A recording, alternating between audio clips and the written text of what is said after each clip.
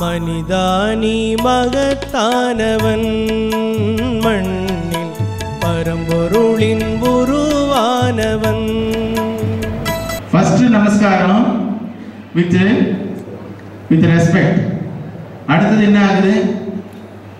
No respect why because he has reduce his respect தன் நிலை புரியாமல் தன் நிலையிலிருந்து கீழே வந்து ஒரு சாதாரண பணத்திற்காகவோ இல்லை ஒரு பதவிக்காகவோ தன் நிலையை விட்டு விடுகிறவர்கள் பேர் தன்மானமற்றவர்கள்.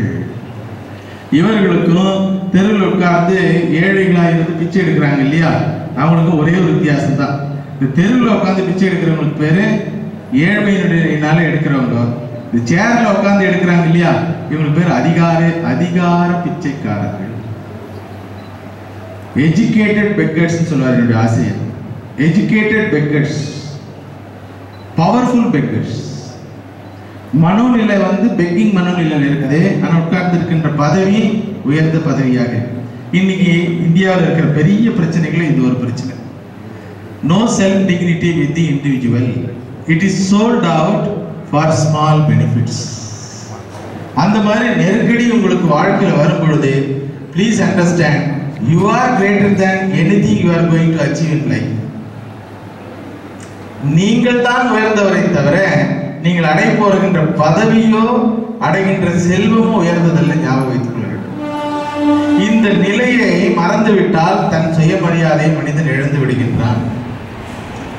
அப்ப பணத்திற்கோ வேற ஒரு பத யாரோ ஒருத்தருக்கு அடிமையாகி விடுகின்றான். சுவாமி விவேகானந்தர் சொல்லுவாரு? Nobody should allow this condition in their life they cannot lose their self self and try to live happily மாணவர்களாகி இருந்து இருக்கிறதுனால உங்களுக்கு இன்னொரு உதாரணம் சொல்றேன். இப்போ ஒரு மாணவன் வந்து தேர்வில் காப்பி அடித்து பரீட்சை எழுதுறார். அவருடைய ரிசல்ட் வரும்போது அவருக்கு கோல்டு மெடல் வந்துடுச்சு ஏன்னா கோல்டு மெடல் எதை வச்சு கொடுக்குறாங்க? மார்க் வச்சு தராங்க. மார்க் எதை வச்சு கொடுக்குறாங்க? உங்கள் பேப்பர் என்ன எழுதியிருக்கீங்களா? அதை நீங்கள் புரிஞ்சு எழுதுனீங்களா? இல்லை காப்பி அடித்து எழுதுனீங்களான்னு தெரியாது. திருத்தரவருக்கு ஸோ இவ்வளோ அழகாக எழுதியிருக்க அந்த மாணவன். அதனால கோல்டு மெடல் வந்துடுது. கூட இருக்கிறவங்களுக்கெல்லாம் ஆச்சரியம். இவன் படிக்கவே மாட்டான் இவன் எப்படி கோல்டு மெடல் வாங்கினான் காலேஜ் பிரின்சிபால் என்ன சொல்லுவாங்க? நீ படிக்காத ஆளுன்னு கோல்டு மெடல் வாங்குறதுனால நாங்கள் அதை ஏற்றுக்க மாட்டோம்னு சொல்லுவாங்களா? சொல்லுவாங்களா? உடனே ஒரு பெரிய பேனர் போட்டு எங்கள் காலேஜில் இருந்து கோல்டு மெடல் கிடைச்சிருச்சுன்னு போட்டுருவாங்க. இவனுக்கு ஆச்சரியம். ஏன்னா இவனுக்கு மட்டும்தான் தெரியும் இவன் காப்பி அடித்தான் மற்ற ஃப்ரெண்ட்ஸ் எல்லாம் கேட்குறாங்க எப்படிடா? அப்படின்னு. அதெல்லாம் ஒரு டெக்னிக் அப்படின்னு சொல்கிறான் தப்பிக்கிறான். சரி கோல்டு மெடல் கொடுத்துட்டாங்க. மாலையும் போட்டுட்டாங்க. வீட்டுக்கு வரான் வீட்டுக்கு வந்து அம்மா வந்து ஆரத்தி எடுக்கிறாங்க இவனுக்கு. கோல்டு மெடல் வாங்கிட்டானேன்னு சொல்லி. இவனுக்கே ஒரு முதல் ஆச்சரியம் வாழ்க்கையில் முதல் முறையாக மரியாதையை இவன் அனுபவிக்கின்றான். பிறருடைய மரியாதையை அனுபவிக்கிறது அப்போ கண்ணாடி முன்னாடி நின்றுட்டு மாலையோட தன்னை பார்க்கறான் கோல்டு மெடலோட தன்னை பார்க்கறான். அவனுக்கு என்ன மனநிலை இருக்கும் யோசனை பண்ணி பாருங்க. சமுதாயம் அவனை அறிவாளின்னு ஒத்துக்கிச்சு கோல்டு மெடலிஸ்ட்னு ஒத்துக்கிச்சு. அம்மாவும் ஒத்துக்கினாங்க. காலேஜில் இருக்கிறவங்களும் வேற வழி இல்லைன்னு ஒத்துக்கினாங்க. எனக்கு கிடைச்சிருந்தேன் எப்படி கிடைச்சதுன்னு அவனுக்கு தெரியாது. இவன் சொல்லவும் மாட்டேங்கிறான். எப்படி? அவ்வளோ சீக்கிரம் எப்படி நல்லா படிச்சிருவான்? சினிமாவுக்கு போகிற பையனாச்சு அப்படின்னு எல்லாருக்கும் சந்தேகம். இருந்தாலும் மாலை போட்டுட்டேன். ஆனால் இவனை பொறுத்த வரைக்கும் இந்த கோல்டு மெடலுக்கு என்ன வேல்யூ இருக்கு? யோசனை பண்ணி பாருங்க. எப்பெல்லாம் இவன் கண்ணாடி முன்னாடி நிற்கிறானோ இந்த கோல்டு மெடலோட என்ன சொல்லும்? ஐஎம் ஏ கோல்டு மெடலிஸ்ட்னு சொல்ல முடியுமா? அவ சொன்னான்னு வச்சுக்கலேன். ஐ எம் கோல்டு மெடலிஸ்ட் அப்படின்னு சொல்லி பெருமிதம் நினைச்சாவே உடனே இன்னொரு பார்ட் மைண்ட் என்ன சொல்லும்? யுவர் ஏ லையர் நீ திருட்டுத்தனம் பண்ணி இந்த வாங்கின கோல்டு மெடல் இப்போ இந்த கோல்டு மெடல் ப்ராஃபிட்டா லாஸா சொல்லுங்க. ப்ராஃபிட்டா லாஸா இல்லை தூங்குறீங்களா ஸ்டூடெண்ட்ஸ் ப்ராஃபிட்டா லாஸா ப்ராஃபிட்டா லாஸா லாஸ் அதுதான் நம்முடைய சாஸ்திரம் சொல்றது. சத்தியமேவ ஜெயதே வாழ்க்கையில நீங்க எதை வேணாலும் அடையலாம். ஆனா உங்களுடைய சுயமரியாதை எழுந்து விட்டு எதை அடைந்தாலும் அதனால் உங்களுக்கு அந்த அடையிற வஸ்துனால உங்களுக்கு பிரயோஜனம் கிடைக்காது. நிறைய பேர் அப்படிதான் இருக்கிறாங்க. சமுதாயத்தில். காரு பங்களா எல்லாம் இருக்குது. ஆனா சுயமரியாதை இல்லை. அவர்களை பற்றிய மரியாதை அவர்களிடத்திலே இல்லை. அவர்களை பற்றிய மரியாதை அவர்கள் குடும்பத்தாரிடத்துல இல்லை. இவர் வெளியில அப்படியே பந்தாவா இருப்பாரு. ஆனா வீட்டுல போய் பார்க்கணும் வீட்லயே ஓரளவுக்கு மேனேஜ் பண்றாருன்னா அவர் தனிமையில் இருக்கும்போது பார்க்கணும். சந்தோஷமா இருக்காரா? திருப்தியா இருக்காரா? ஆனா இருக்காரு. குற்ற உணர்வோடு இருப்பார். பயத்தோடு இருப்பார். அதனால் அந்த நிலை வராமல் பார்த்து கொள்ளுங்கள். ஏன்னா நீங்கள் பல மனித பல விதமான மனிதர்களோடு பழக வேண்டியது இருக்கு. ஒரு ஆஸ்பத்திரியில் இருக்கீங்கன்னா அங்கே ஹாஸ்பிட்டல் மேனேஜ்மெண்ட்னு ஒரு குரூப் இருக்கும். Because I will not lose my self dignity for small petty benefits in my life உன்னுடைய ப்ரொஃபஷனை வச்சு உன்னை மதிப்பிடாத உன்னுடைய ஸ்பிரிச்சுவல் நேச்சர் வைத்து உன்னை மதிப்பிட்டுக்கொள் it is a profession what you is understand மற்றவங்களே என்ன சொல்றாங்க? நீங்க நர்ஸ்னு the profession called nursing you are not a nurse what you are that's what Swami Vivekananda says persons identity இப்போ ரோட்ல வந்த உடனே ஒரு ஆட்டோக்கார போறாருன்னு வச்சுங்களேன். ஆட்டோன்னு கூப்பிடுறோம். கரெக்டா தப்பா? எடுத்துக்காதீங்க தயவு செய்து you are in individual soul is rouse to the self conscious activity be conscious about your spiritual self because as an individual you have many roles to play but you are not that role. மகள் மகன். கணவன் முன்னிலையில வரப்படும் குழந்தை முன்னிலையில உங்களுடைய role என்ன? இல்லப்பா அது உங்க பேருப்பா. நீங்க யாரு? உங்க பேரை கேட்கல நீங்க யாருன்னு கேட்கிறேன். உடனே நீங்க என்ன சொல்லுவீங்க? ஐ ஆம் பிஎஸ்சி நர்சிங் நர்ஸ் அப்படின்னு. அது உங்க ப்ரொஃபஷன்ப்பா நீங்க யாரு? சாயந்தர நேரத்தில் சுவாமிஜி வந்து இப்படி தலையை தின்றாரு? உடனே கொஞ்சம் யோசிச்சு நீங்க என்ன சொல்லுவீங்க? உங்க அப்பா பேர் I am doctor of so and so அது உங்க அப்பா பேருப்பா நீங்க யாரு? உடனே உங்க கணவன் பேரை சொல்லி I am wife of so and so so அது உங்க ஹஸ்பண்ட் பேரு நீங்க ரிலேஷன் வச்சுட்டு இருக்கிற ரிலேஷன்ஷிப் பேரு நீங்க யாரு? உடனே நீங்க சொல்லு நான் ஒரு பெண் மகள். அது உங்க ஜெண்டர்ப்பா நீங்க யாரு? நான் ஒரு மனுஷி சாமி. அது உங்க ஸ்பீஷிஸ் நீங்க யார்? தெரியல சாமி நீங்களே சொல்லிடுங்க. இதுதான் நம்முடைய வாழ்க்கையில் we don't have any clarity about what we are என்னுடைய ஆசிரியர் இதை இதை வந்து எனக்கு சொல்லித் தரும் பொழுது சொல்லுவார். இப்போ வந்து தமிழ்நாட்டில் ஒரு வயசான நடிகர் ஒருத்தர் இருந்தார். நடிகர் திலகம்னு அவருக்கு பேர் இல்லையா? ஒரு உதாரணத்துக்காக சொல்கிறேன் நான்லாம் சினிமா பார்த்து எத்தனையோ வருஷத்துக்கு மேலே ஆயிடுச்சு ஒரு நடிகர் திலகம்னு ஒருத்தர் இருந்தார். அவர் வந்து ஒரு கட்டபொம்மன் வீரபாண்டிய கட்டபொம்மன் அப்படின்னு சொல்லி ஒரு படம் நடிச்சிருக்கார். அதில் ஒரு வசனம் வரும். இல்லையா? அந்த வசனம் உங்களுக்கு கொஞ்சம் ஞாபகப்படுத்தி பாருங்க. மஞ்சள் அரைத்தாயா மாவு அரைத்தா ஏதோ ஒன்று வரும். அந்த மீசை முறுக்கி பா சொல்லுவார். அதை முடித்த உடனே அவர் எங்கே போகணும்னா இன்னொரு ஷூட்டிங்க்கு போகணும். அந்த ஷூட்டிங் வந்து ஆலயமணின்னு ஒரு படம். அதில் ஒரு பாட்டு சட்டி சுட்ட தடா அந்த பாட்டு பாட போகணும். அன்னைக்கு ஷூட்டிங் அவருக்கு. இவர் இந்த ரோல் முடிச்சுட்டு கிரீன் ரூமில் வந்து இந்த வேஷத்தை கலைக்கணுமா வேண்டாமா? கலைக்கணுமா வேண்டாமா? அவருடைய அசிஸ்டண்ட்டு கேட்குறார் சார் சார் அடுத்த ஷூட்டிங் போகணும் சார். வாங்க சார் போகலாம் வெல் என்னை பார்த்து வீரபாண்டிய கட்டபொம்மனை பார்த்து வேஷம் கலைக்க சொல்லுகின்றாயா? அப்படின்னு சொல்லி அந்த வசனத்தை திருப்பி சொன்னாருன்னு வச்சிங்களேன். அந்த அசிஸ்டண்ட் என்ன நினைப்பார்? ஐயோ நல்லா தானே இருந்தார் இவர். திடீர்னு இப்படி ஆகிட்டாரு So if the role become identity, then you are called mad. Please understand. If the role become identity, you are called as mad person. This is this madness is now engulfing the engulfing the society. குழந்தையா இருக்கும் பொழுது என்ன சொல்றாங்க build your career build your career build your கரியர்னா என்ன build your கரியர்னா என்ன உடனே என்ன சொல்ற என்ன ஆகணும் நான் டாக்டர் ஆகணும் நான் என்ஜினியர் ஆகணும் நான் நர்ஸ் ஆகணும் நீங்கள் கண்டிப்பாக சொல்லியிருக்க மாட்டீங்களோ சொன்னீங்களோ தெரியல நான் நர்ஸ் ஆகணும் நான் மனுஷனா வாழணும்னு யாருமே சொல்ல மாட்டேன் ஏன்னா profession can not be the identity of the person please understand now this is the western culture which tries to make the profession as the identity of the individual our identity is not like that our identity is always with divinity I can play any role, any number of role. As a woman, you are going to play many multi roles. as a daughter for your parent, as a wife for your husband, as a mother for your children, and as a nurse for your, the patients, as a citizen for this nation, as a responsible person, you have to play lot of roles, but no role can be your identity. What is your identity? That should be fixed. What you are. Swamiji சொல்றாங்க விவேகானந்த சுவாமிஜி சொல்றாங்க every individual is not a physical entity உடம்பு நமக்கு இருக்குது. ஆனால் உடம்பு மட்டும்தான் இருக்கா? உடம்பு மட்டும் இருந்தால் அதுக்கு பேர் பணம். கரெக்டா உடம்பு மட்டும் இருந்தால் அதுக்கு பேர் என்ன? பணம். ஒருத்தருடைய கணவர் இறந்துட்டாங்க. அந்த அம்மா அழறாங்கன்னு வச்சுங்களேன். என்ன மாதிரி ஒரு சுவாமிஜி இப்போ ஏமா அழறீங்க அப்படின்னு கேட்குறாரு என் கணவர் போயிட்டாருங்க. ஏம்மா படுத்துந்தான் இருக்கிறார் போயிட்டாருன்னு சொல்கிறீங்களேம்மா அப்படின்னா அந்த அந்த மாதிரி என்ன சொல்லுவாங்க? என்ன இவர் எங்கேருந்து வந்தார் தெரியல? போனத்துக்கும் ஆளுக்கும் வித்தியாசம் தெரியாமல் படுத்துங்கிறாருன்றாரு. சாமி இது எங்கள் ஹஸ்பண்ட் இல்லை. அவர் எங்கள் ஹஸ்பண்ட் போயிட்டாரு.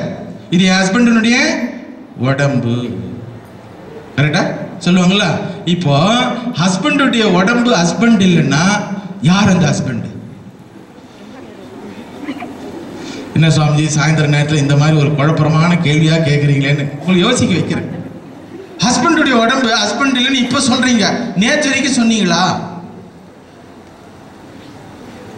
நேற்று வந்து வேற ஒருத்தர் கேட்டப்போ எங்க சார் இருக்கிறாருன்னா தூங்கின்னு இருக்கிறாரு. தூங்கின்னு இருந்தது யாரு? அப்பவும் உடம்பு படுத்துட்டு இருந்தது இப்பவும் உடம்பு படுத்துட்டு இருக்குது. தூங்கிட்டு இருக்கிறவருக்கும் போயிட்டு வரைக்கும் இப்போ என்ன வித்தியாசம் சொல்லுங்க? குழப்பமா இருக்கா? அதான். ஆன்மீகனாவே இப்படி தான் ஆரம்பிக்கும். So it's all basic question இப்போ ஹஸ்பண்ட் அவங்களே சொல்கிறாங்க இவர் என்னுடைய ஹஸ்பண்ட் இல்லை இது என்னுடைய ஹஸ்பண்டுடைய உடம்பு தான். அப்போ ஹஸ்பண்ட் உடம்பு வேற ஹஸ்பண்ட் வேற. ஹஸ்பண்ட் என்ன ஆனார்? போயிட்டார். யார் ஹஸ்பண்ட் உடம்பு ஹஸ்பண்ட் இல்லைன்னா ஒய்ஃப் உடம்பும் ஒய்ஃப் இல்லை. குழந்தை உடம்பும் குழந்தை இல்லை. அப்போ யார் உடம்பும் யாரும் கிடையாது. அப்போ எல்லாருமே உடம்பை விட்டுட்டு தனியாக இருக்கிற ஒரு ஆள். அதனால தான் நம்ம எல்லாருக்குமே ஒரு நம்பிக்கை இருக்கு. செத்த பிறகு நல்ல கதி அடையணும். யார் அடையிறது? நீ இதை செத்துட்டிய எங்க அடைய போற? இல்லை இல்லை உடம்பு தான் சாகுது. நான் சாகவில்லை. எல்லாருக்கும் இந்த நம்பிக்கை இருக்கா? அதனால தான் கோயிலுக்கு போகிறோம் அதனால தான் தர்ம காரியம் செய்கிறோம் அதனால தான் பகவான் வழிபடுறோம். அதனால தான் மரண பயமே இருக்கு. பகவானே அடுத்த ஜென்மத்திலேயாவது. எப்படி? அடுத்த ஜென்மத்திலேயாவது. அப்படின்னா என்ன அர்த்தம்? இந்த இந்த ஜென்மத்தில் இந்த ஆள்கிட்ட அடி வாங்கி அடி வாங்கியே போச்சு என் லைஃபு அடுத்த ஜென்மத்திலேயாவது ஒரு அன்பு செய்கிற ஒரு கணவனை கொடுப்பாயாக. இல்லை இவர் ஆப்போசிட் இப்படி சொல்லிப்பார் அடுத்த ஜென்மத்திலேயாவது பகவானே அப்படின்னு இவர் வேண்டாருன்னு வச்சுக்க வேண்டுவார்? இந்த அம்மாக்கிட்ட தினந்தோறும் அடி வாங்குறாரோ திட்டு திட்டு வாங்குறாரோ ஏதோ ஒன்று வாங்குறாரு. என்ன நினைப்பார் அவர்? அடுத்த ஜென்மம் எல்லா மதத்திலையும் சொல்றோம் அது கிறிஸ்துவ மதமா இருக்கட்டும். When you cajole your child, your own child, you are not an intellectual person. You are emotional person. அந்த குழந்தை உங்களுடைய குழந்தையை தாளாட்டுறீங்கன்னா அப்ப நீங்க இல்ல மனசு அன்பு செய்கின்ற உங்கள் குழந்தை அன்பு செய்யும் போது எப்படி இருக்கீங்க? மனமாக இருக்கின்றீர்கள். அப்போ நீங்க identity is nothing but spiritual identity give up your self dignity for the petty small gains dignity one it is possible to relate in your profession with others along with your professional knowledge become mother or sister add the aspect of love otherwise என்ன ஆகும்னா mechanical உங்கள் life என்ன ஆயிடும்னா அதனால தான் ஹாஸ்பிட்டலில் அந்த patient என்ன சொல்கிறாங்க நீங்களே சொல்லுங்களேன் பேஷண்ட்டை என்ன சொல்றீங்க? அந்த கேஸ் எந்த கேஸ் அவன் உயிருள்ள மனுஷன். எவ்வளோ துன்பங்கள் அனுபவிச்சு அந்த கேஸ் என்ன ஆச்சு? போயிடுச்சு. இந்த கேஸுக்கு என்ன ஊசி கொடுத்த? கோர்ட்ல வாதாடுற வக்கீல். அவரு என்ன சொல்றாரு? அந்த கேஸ்ன்றார் அவர் சொல்ற அந்த கேஸும் நீங்க சொல்ற அந்த கேஸும் என்ன வித்தியாசம் சொல்லுங்க. எப்படி மொழியினால நம்முடைய வாழ்க்கை தரம் குறைஞ்சிருக்கு பாருங்க. அவர் சொல்றது அந்த கேஸ்னு வக்கீல் மனிதருடைய பிரச்சனை. புரியுதுல்ல ஏதோ ஒரு பிரச்சனை. மனிதர் சொல்லல. ஆனா நீங்க அந்த கேஸ்னு சொல்றீங்கன்னா யாரும் சொல்றீங்க இதெல்லாம் பார்த்து பார்த்து பார்த்து மனசுக்கு ஒரு நா- ஒரு ஒரு காலகட்டத்தில் என்ன ஆகிடும் இறுக்கமாயிடும்.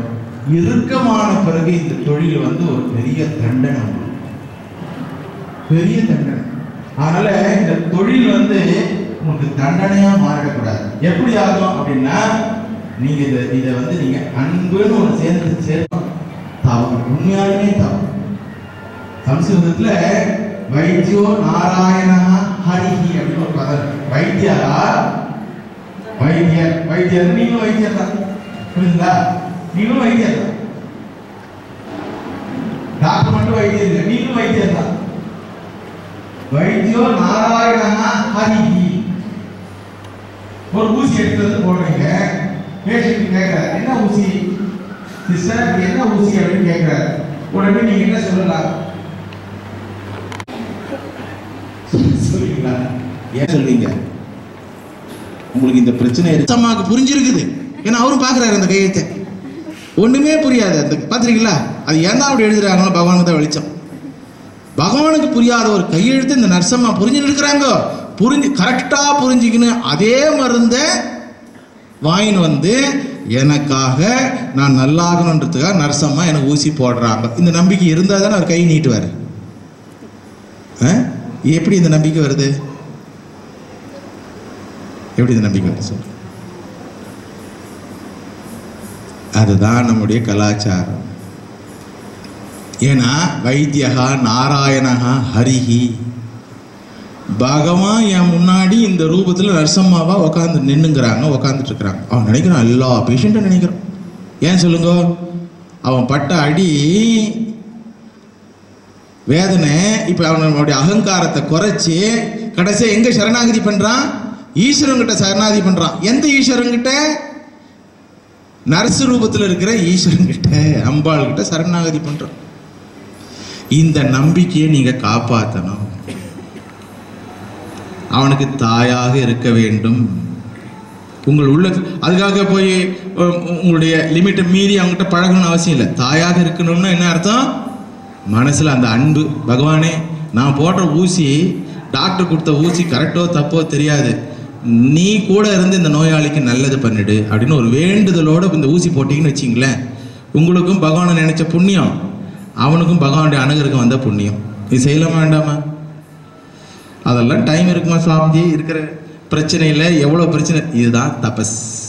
செய்கின்ற செயலை இறை நினைவாக செய்வது அன்பாக செய்வது தான் தவம். ஞாபகம் தவம்னு சொல்லி காட்டில் போய் எங்கேயோ ஒரு இடத்துல இருக்கிறதோ? இல்லை ஒரு குகையில் ஒளிந்து கொள்வதோ இல்லை. தவம் என்பது நாம் வாழ்கின்ற வாழ்க்கையை பிறருக்கு பயனுள்ளதாகவும் பிறருக்கு துன்பத்தை தராததாகவும் இறைவனை ஞாபகப்படுத்தக்கூடியதாகவும் அவர்களுக்கும் நல்லது நடக்கட்டும் அப்படின்ற ஒரு மனோநிலையில் செய்யப்பட்டால் சாதாரண வேலை கூட தவமாகும். ஒரு உதாரணம் சொல்கிறேன் உங்கள் வீட்டை பெருக்குனீங்கன்னா அதுக்கு பேர் என்ன வேலை? வீட்டை பெருக்குறீங்க. வீட்டை சுத்தமாக வச்சுக்கிறீங்க. அதுக்கு பேர் என்ன? என்ன வேலை செய்கிறீங்க அப்படின்னா நீங்கள் என்ன சொல்வீங்க? வீட்டு வேலை செய்கிறேன் இது என்ன பெரிய கேள்வி. அதே தொடர்பத்தை எடுத்துன்னு போய் கோயிலை பெருகி பாருங்களேன். என்ன சொல்லுவீங்க கேட்குறேன் நீங்கள் என்ன செய்கிறீங்க அப்படின்னா என்ன சொல்லு? ஆ? பகவானுடைய கோயிலை சுத்தம் பண்ணுற சேவைப்படியை செய். என்ன சொல்கிறீங்க சேவைப்படி. சரி இன்னும் புரிகிற மாதிரி சொல்கிறேன் நாலு இட்லி தட்டில் வந்து வச்சுட்டாங்க. அப்படியே எடுத்து சாப்பிட்டீங்கன்னா அதுக்கு பேர் என்ன? அதுக்கு பேர் என்ன? டிஃபன் அதுக்கு பேர் என்ன? டிஃபன் வெச்ச இட்லியை உடனே எடுத்து சாப்பிட்டுட்டீங்கன்னா அதுக்கு பேர் என்ன? டிஃபன் அந்த வெச்ச இட்லியை பகவானுடைய பூஜை ரூமில் எடுத்துன்னு போய் வச்சு ஒரு மணி அடித்து ஒரு ஆரத்தி காமிச்சு சாப்பிட்டீங்கன்னா அதுக்கு பேர் என்ன? அதுக்கு பேர் பிரசாதம். அப்படியே சாப்பிட்டா சாதம் கொடுத்துட்டு சா- காமிச்சிட்டு சாப்பிட்டா இதை தான் சாஸ்திரம் சொல்லுது. அப்படியே செஞ்சா வேலை அடிமை தொழில் அதை இறையணும் நினைவோடு செய்தால் அதான் தவம். அப்படி தவம் பண்ணுறதுக்கு உங்களுக்கு வாழ்க்கையே ஒரு வாய்ப்பு கொடுத்துருக்குது. ஆனால் உங்களுடைய தொழில் வந்து தவத்தை ஊட்டுவதாக இருக்கட்டும் உங்களுடைய வாழ்க்கை உங்களுடைய ஆன்மீக செல்வத்தை கண்டடிப்பதற்காக இருக்கட்டும் உங்களுடைய செயல்கள் அனைத்தும் உங்களுடைய சுயமரியாதையை காப்பாற்றுவதாக இருக்கட்டும். அதற்கு பகவான் ஸ்ரீராமகிருஷ்ணரும் அன்னை சாரதா தேவியும் அனுகிரகம் செய்யட்டும். சுவாமி விவேகானந்தர் உங்களை வழிகாட்டட்டும் என்று இந்த வே நேரத்தில் வேண்டிக் கொண்டு வாய்ப்புக்கு நன்றி கூறி விடைபெறுகிறேன். நன்றி வணக்கம்.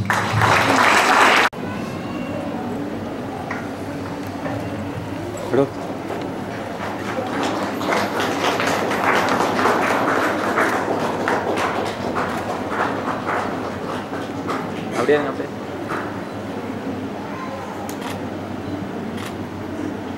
okay solution and the vision to see obstacles as opportunities.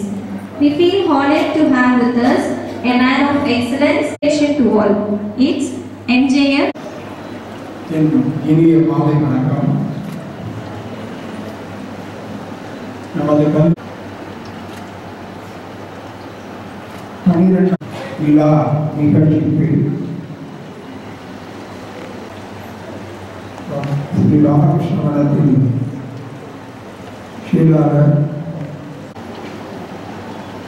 இந்த விழாவில் கலந்து கொண்டு அபார்ந்த நன்றிகளை தெரிவித்துக் கொள்கின்றோம். இந்த நிகழ்ச்சியில் யாருக்கு பெருமையோ இல்லையோ? இந்த காலேஜுக்காக ஒரு பாட்டு மனசார காலேஜ் பண்றதுக்காக.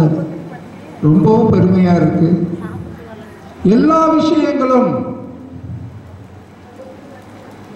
கிராஜுவேஷனில் எழுதியிருப்பாங்க நாலு லைனு இங்கிலீஷில்.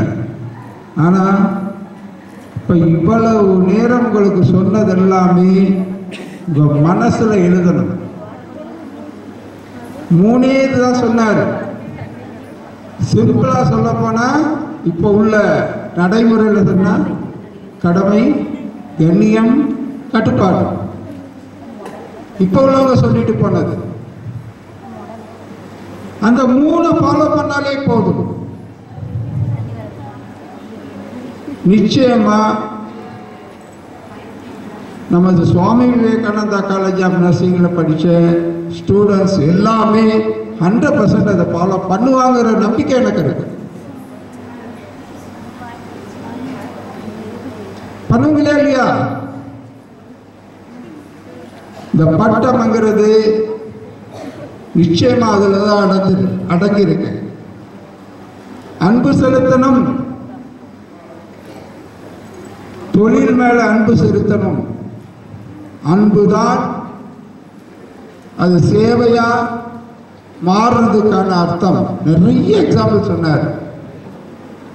மனசுல அப்படியே பதிகிற மாதிரியான எக்ஸாம்பிள்ஸ் எல்லாம் சொன்னாரு.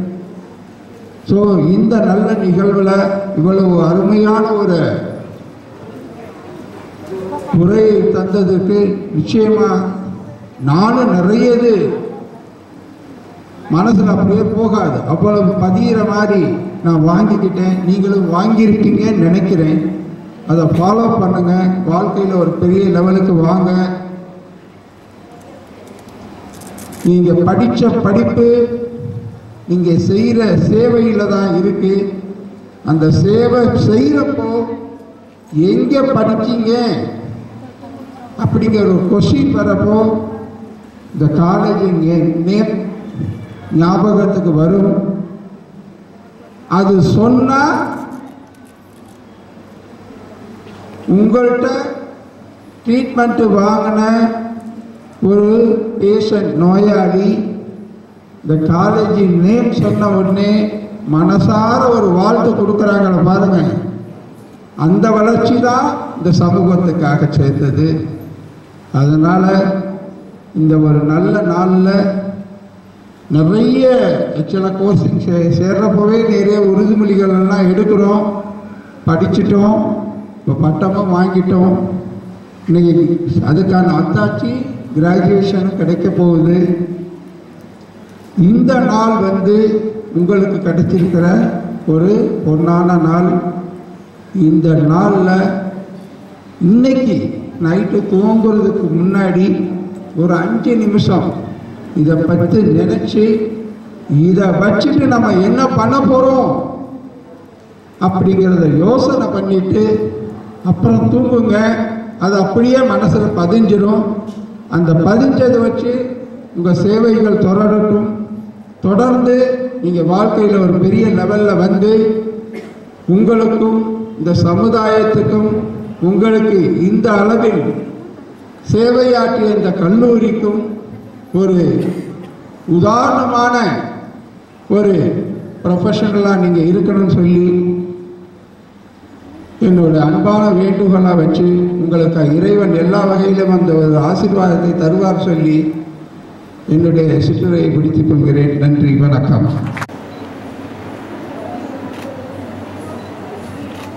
measured by how much one accumulates, but by the extent it's the graduation address. Here we have with us உரையை பற்றி பேச மிக்க மிக்க மகிழ்ச்சியோட பெருக்கத்தோடும் அழைக்கிறோம்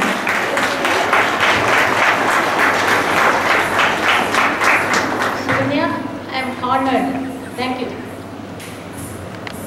संस्थापकाय च धर्मस्य सर्वधर्मस्वरूपिणी अवतारवरिष्ठाय रामकृष्णाय Secretary of Sri Ramakrishna Mission, Viluppuram, respected and my dear brothers, Mr. Nagarajan and Mr. Sabanayagam, our trustees, dear Principal Mrs. Tangamani, dear Vice Principal Mrs. Manimegali, and all the HODs of different departments, the staff, distinguished guests, invitees, my dear outgoing graduates and their parents. It gives me great pleasure to extend a warm welcome to this August gathering on the occasion of 12th graduation ceremony of Swami Vivekananda College of Nursing, Dharmapuri. Swami Vivekananda says, we want that education by which character is formed, strength of mind is increased, the intellect is expanded, and by which one can stand on one's own feet. நமது கல்லூரி சுவாமி விவேகானந்தரின் வழி நின்று பெண்களுக்காக மட்டும் இயங்கி வரும் செவிலியர் கல்லூரி. அன்பு மற்றும் சேவை இரண்டையும் கல்லூரியின் இரு கண்கள் என போற்றி நம் செவிலியர் மாணவிகளுக்கு பயிற்சி அளித்து தங்களின் சேவையை அர்ப்பணிப்பு உணர்வுடன் செய்வதற்காக ஊக்கமளித்து வருகிறோம். இன்றைய போட்டி மிகுந்த உலகத்தில் நன்கு படித்திருந்தாலும் நற்பண்புகளுடன் சுயநலமற்றவர்களாகவும் அர்ப்பணிப்பு உணர்வுடன் மக்களுக்கு சேவை செய்தால் சமுதாயம் மேம்படும். நவநாகரீக உலகத்தில் உடல் நலம் என்பது மிகப்பெரிய கேள்விக்குறியாக இருந்து வருகிறது. இந்நிலையில் நிறைய கார்ப்பரேட் ஹாஸ்பிட்டல்ஸ் உருவாகி கொண்டு இருக்கிறது. பணம் கொடுத்தால் உயிரை எப்படியும் காப்பாற்றிவிடலாம் என்கிற நிலையில் இக்காலகட்டம் அமைந்துள்ளது. இத்தகைய மருத்துவமனைகளுக்கும் அரசு மருத்துவமனைகளுக்கும் முதுகெலும்பாக விளங்குபவர்கள் நம் செவிலியர்களே. உங்கள் வாழ்க்கையில் வெற்றிக்கான விவேகானந்தர் கூறிய சூத்திரத்தை உங்களுக்கு தெரிவிக்கிறேன். ஒரு கருத்தை எடுத்துக்கொள். அதை ஒ- ஒரு க அந்த ஒரு கருத்தையே உனது வாழ்க்கை மயமாக்கு. அதையே கனவு காண். அந்த கருத்தை ஒட்டியே வாழ்ந்து வா. மூளை தசைகள் நரம்புகள் உன் உடலின் ஒவ்வொரு பாகத்திலும் அந்த ஒரு கருத்தே நிறைந்திருக்கட்டும். அந்த நிலையில் மற்ற எல்லா கருத்துக்களையும் தவிர்த்துவிடு. வெற்றிக்கு இதுதான் வழி My dear young nursing graduates, graduation is only a concept. In real life, every day you, you are graduated. Graduation is a process that goes on until the last day of your life. If you can grasp that, you'll make a difference. To c- accomplish great things, we must not only act but also dream, and not only dream but also believe. My dear girls and only boy, today is an important day in your li- life and a significant step in your life's journey. Entering into this great institution, you pursued your studies with great dedication. You met all demands of hard work, maintained high standards, and qualified yourselves for this graduation. It is a moment of pride for you, your teachers, parents, and friends, and the management. You all know that life is full of challenges and opportunities too. You will realize soon that what you experience in our institution is only a beginning of the learning process and this has to go go on further with the same determination and extended to several new dimensions so that you can gain success and serve the society in a big way. I am sure that each one of you has different talents and aspirations. I wish you all to strive hard to achieve your dreams. Try not to become a woman of success, but rather try to become a woman of values that only our Swami Vivekananda College taught you from the beginning. From the bottom of my heart, I wish each one of you to get success in your future endeavors. Wish you all the best. May God bless you all. Thank you. Nandaji Maharaj to give a memento to our Amma. மனிதானி மகத்தானவன் மண்ணில் பரம்பொருளின் உருவானவன் மனிதானி மகத்தானவன்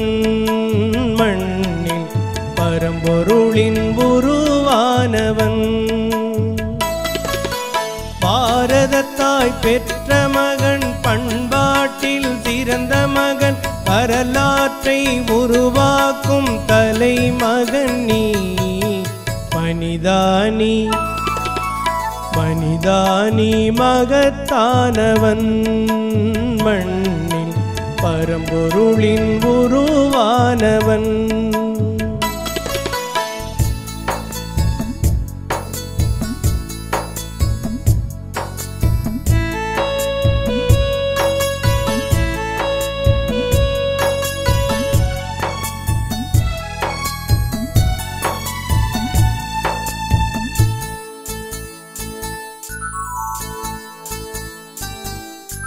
மனம் வைத்தால் மலைகளும் உன் கைகளுக்குள் அடங்கிவிடும் இமை பொழுதில் நதிகளுமே திசை மாறி பாய்ந்துவிடும். மனம் வைத்தால் மலைகளும் உன் கைகளுக்குள் அடங்கிவிடும் இமை பொழுதில் நதிகளுமே திசை மாறி பாய்ந்துவிடும்.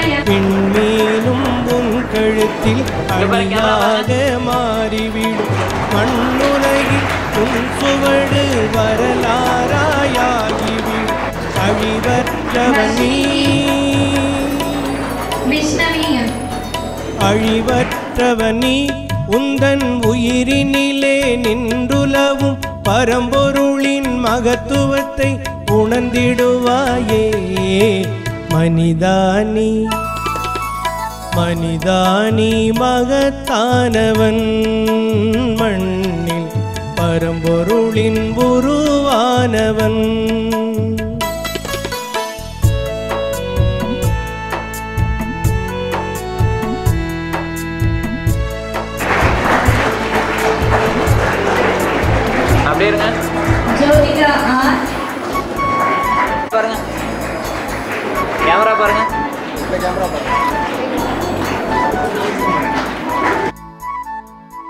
நம்பிக்கை நம்பிக்கை உன்னிடத்தில் நம்பிக்கை. கொண்டாடே ஆற்றல்களும் ஊற்றனவே பொங்கி எழும். நம்பிக்கை நம்பிக்கை உன்னிடத்தில் நம்பிக்கை.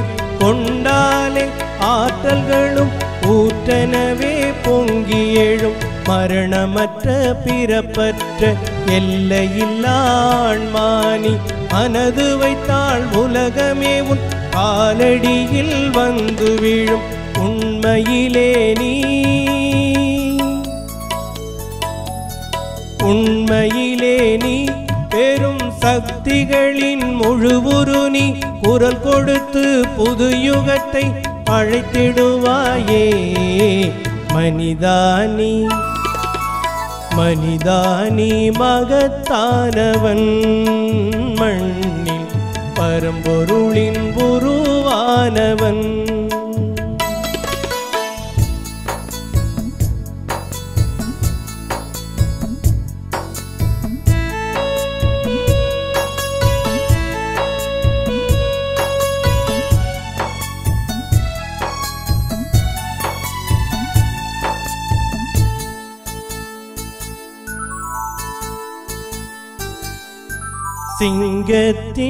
இருதயத்தை வலிமை பெற தியானம் செய்வார்.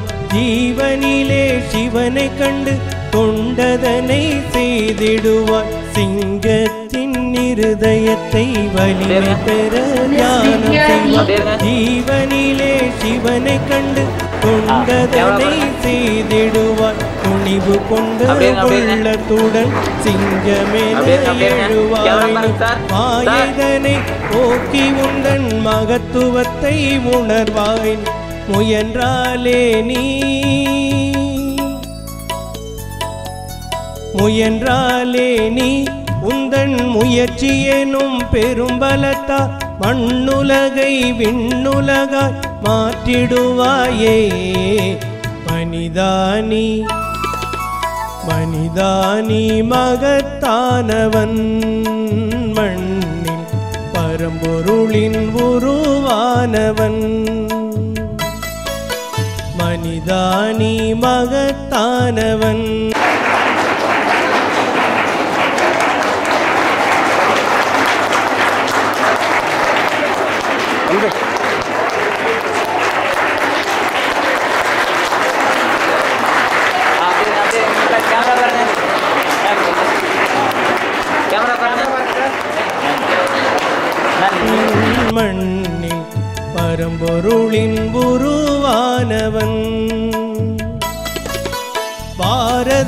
பாரதத்தாய் பெற்ற மகன் பண்பாட்டில் சிறந்த மகன் வரலாற்றை உருவாக்கும் தலைமகன் நீ.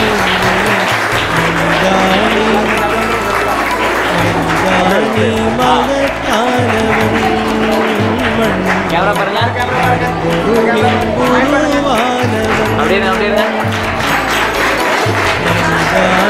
மகத்தானவன் மண் The best outgoing award for பொருளின் உருவானவன் மேம் கேமரா பொருளின் உருவானவன் அப்படியே இருங்க, அப்படியே இருங்க அப்படியே இருங்க பரம்பொருளின் உருவானவன் Thank you, Swamiji. I request MJF Lion Dr. K.V. Nagarajan sir to give the best academic awards. Second prize goes to Ms. Priyanka T. ஜீவனெல்லாம் இறைவன் என்ற ஞானத்திலே நாம் ஜீவ சேவை செய்ய வேண்டும் வாழ்க்கையிலே. ஜீவனெல்லாம் இறைவன் என்ற ஞானத்திலே நாம் ஜீவ சேவை செய்ய வேண்டும் வாழ்க்கையிலே. நாளும் மனித கடவுளை நாம் போற்றி நிற்போமே. நாளும் மனித கடவுளை நாம் போற்றி நிற்போமே. பல நாம் பல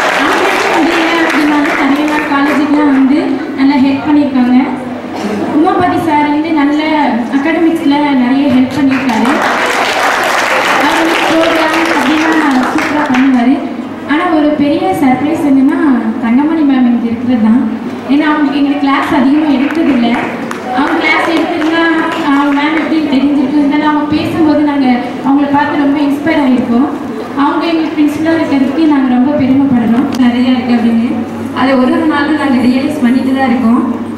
மற்ற மேம் எல்லாருமே கிறிஸ்து மேம் செல்வி மேம் எல்லா ma'am Kalyan sir Sabari sir Babu sir எல்லா பாபு சார்லாம் ஃபுட்டுக்கு செம்மையாக ஹெல்ப் பண்ணியிருக்காரு சார் இது எங்களுக்கு இல்லை இது எங்களுக்கு பிடிக்கல அப்படின்னு சொன்னால் உடனே மறுபடியும் சேஞ்ச் பண்ணி கொடுத்துருக்காங்க. ஹாஸ்டல் ஏதாவது ஃபெசிலிட்டிஸ் இல்லை அப்படின்னு.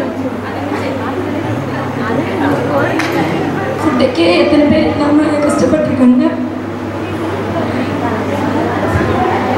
எங்களை இந்த நிலைமைக்கு படிக்க வச்சு Heartfelt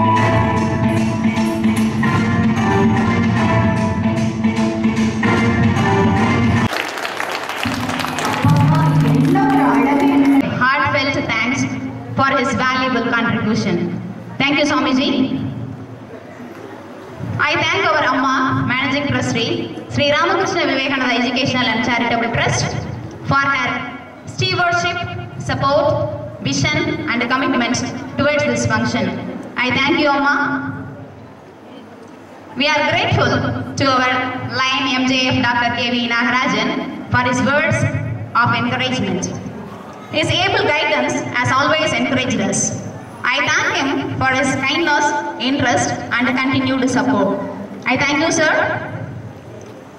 I thank our Professor Tangamani, Principal, Swami Vivekananda College of Nursing, for her unstinted encouragement and support for our staff and students for this function. I thank you, ma'am.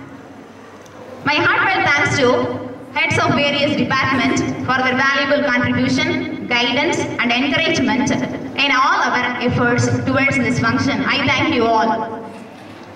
Express my heartfelt gratitude to all teaching staffs for their valuable guidance and encouragement in all our efforts and for giving support to ensure that this event becomes a success. I thank you all my teachers. I owe special gratitude to the non-teaching staff who have worked hard to ensure that this occasion becomes a memorable success. I thank to all my non-teaching staffs. I would like to extend our appreciation to our fellow graduates. Congratulations to each one of you. Your perseverance, hard work and camaraderie have made our time here truly memorable. Finally, I big thank to all our guests and attendees for uh, joining us on this special occasion. Thank you for being a part of my graduation journey. Your unwavering support and encouragement are crucial to the significant milestone. Your kindness will always be remembered for us.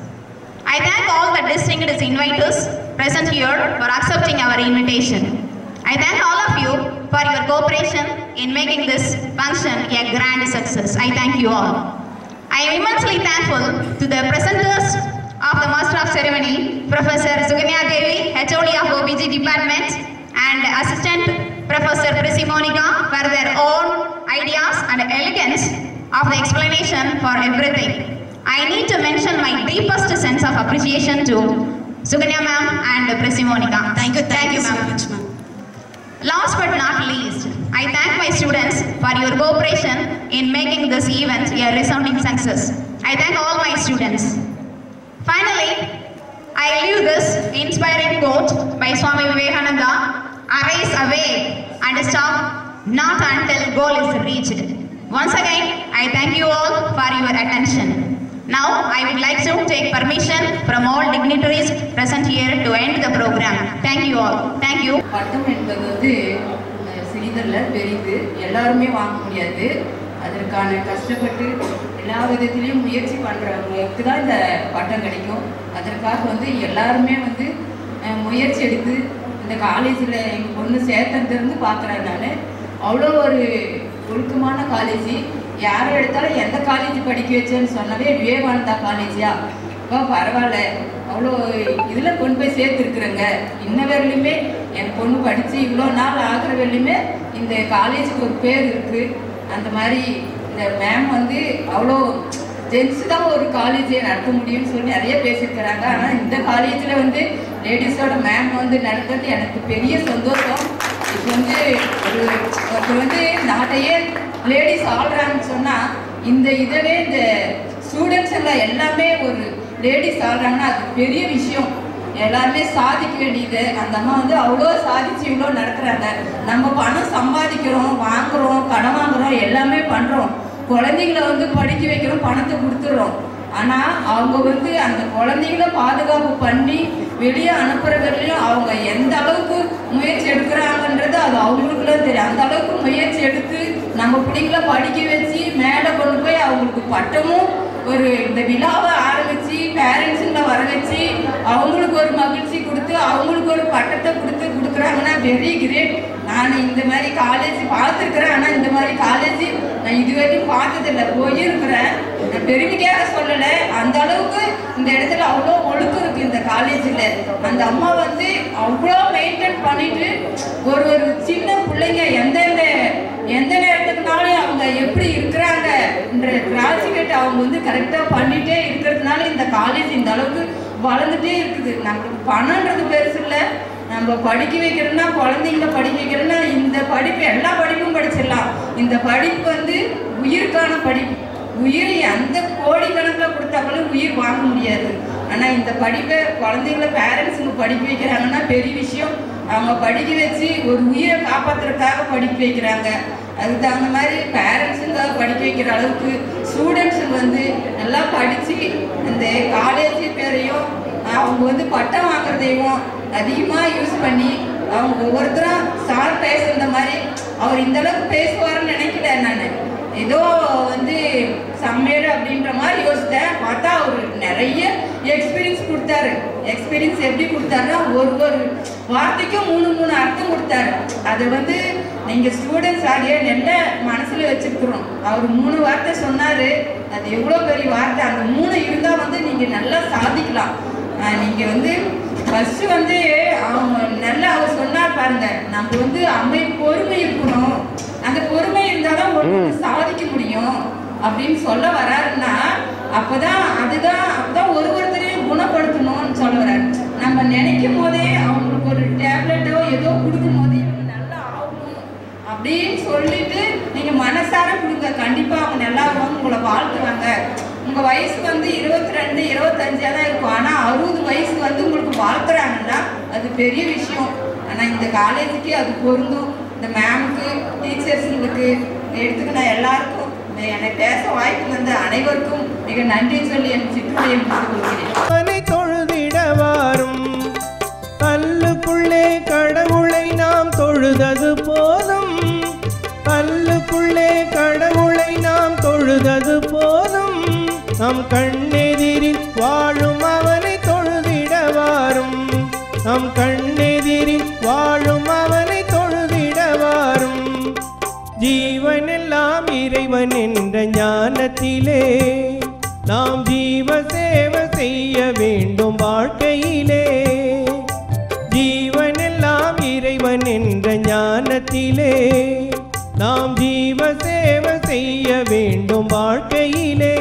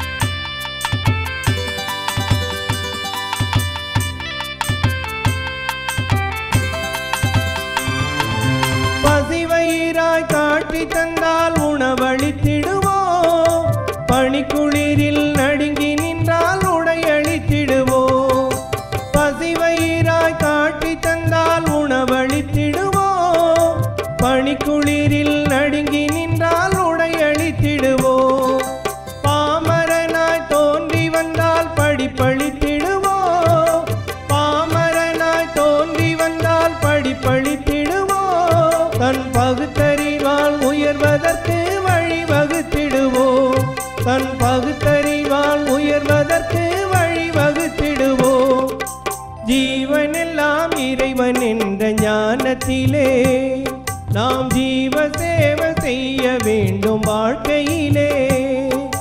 ஜீவனெல்லாம் இறைவன் என்ற ஞானத்திலே நாம் ஜீவ சேவை செய்ய வேண்டும் வாழ்க்கையிலே.